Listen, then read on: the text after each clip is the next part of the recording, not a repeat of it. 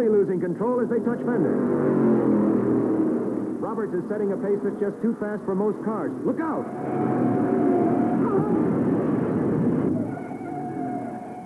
That Pontiac qualified at 127 miles an hour, and Ralph Earnhardt proves that it can run almost as fast backwards. The yellow caution signal slows traffic. Earnhardt's not hurt. If that car will still run, he'll make it back to the pits and out of the race.